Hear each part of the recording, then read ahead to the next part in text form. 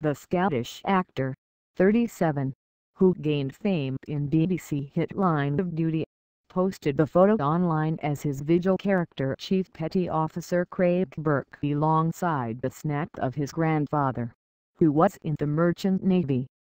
Chief Petty Officer Burke Compston dies in the first 10 minutes after raising concerns over the commander's decision not to help a fishing trawler that finds itself in difficulty, potentially after coming into contact with an enemy submarine. Detective Chief Superintendent Amy Silva Suranne Jones is brought on board to investigate Burke's death. Jade has found out that Burke is dead, and that a sub sank the trawler. On board Vigil, radar operator Burke was the only sailor to spot the sinking trawler.